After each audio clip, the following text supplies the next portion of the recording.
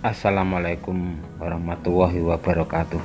Kawan-kawan semua baik sebangsa maupun yang bukan sebangsa baik yang di timur, di barat, utara dan selatan maupun alam yang lain. Gawangan pintu ini saya buat untuk garasi dengan panjang gawangan yakni 2 meter 45 cm dengan ketinggian sisi kiri yakni 2 meter 3 cm tengah dan ketinggian sisi kanan yakni 1 meter 86 setengah cm terbagi menjadi 4 lipat. Perbagian lipatan yakni 54,25 cm itu terambil dari sisi dalam gawangan. Sisi bawah saya ambil 1 meter setengah. Jadi sisi atas ada sekitar 30 setengah cm untuk ketinggian 1 meter 86 meter dan 47 setengah cm untuk ketinggian 2 meter 3 setengah meter.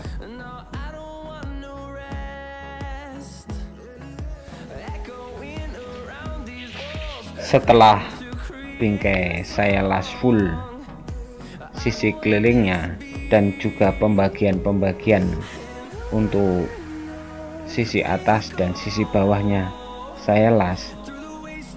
Pintu lipat ini memakai engsel isi tiga untuk sisi pinggirnya. Sisi atas saya ambil 24 cm demikian juga untuk sisi bawahnya saya ambil 24 cm dari pembagian 24 cm itu dari sisi atas dan sisi bawahnya untuk sisi tengah sekitar ada ruangan sekitar 70 cm itu diambil dari sisi engsel atas dan sisi engsel bawah. Engsel yang saya pakai untuk sisi pinggirnya yakni engsel setengah in. Untuk sisi pinggirnya saya memakai engsel isi tiga sedangkan untuk sisi tengah engsel yang saya pakai adalah engsel bervariasi. Ada yang engsel isi dua. Jadi pintu lipat ini berhubung lokasinya menanjak saya bagi menjadi tiga bagian di sebelah kiri dan satu bagian sisi sebelah kanan. Jadi nanti yang selalu aktif atau aktif sekali dari sisi sebelah kanan.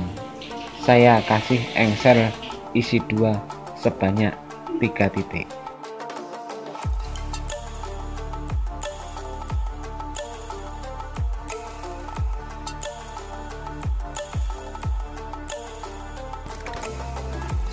Semoga proses pembuatan pintu lipat pada garasi menjadi empat bagian ini bisa bermanfaat bagi teman-teman semua.